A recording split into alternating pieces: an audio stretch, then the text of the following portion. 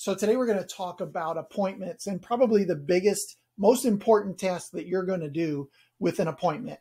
When you get a new lead and you pick up the phone and you call that person to confirm or set up an appointment, what you're going to want to do in opportunities is click in the white area on that person's card.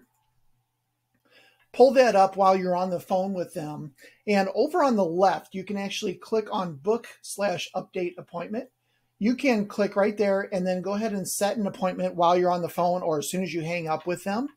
Choose your calendar, choose the date of the appointment, and of course, the time slot that makes the most sense. Once that loads in,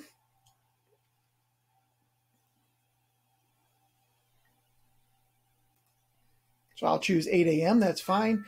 Meeting location typically is the person's house. You can leave that empty if you want, or you can put in the person's address uh, right there, but pretty much it always defaults to that person's address anyway.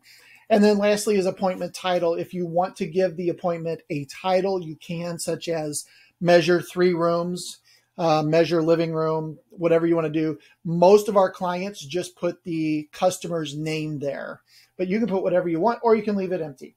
Then when you click book appointment, what that's going to do is automatically confirm that appointment.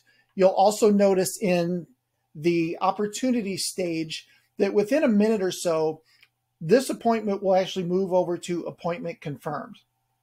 At that point, if you are integrating with QuoteRite or SolaTech, it will also dump that contact information over to that platform at that particular point.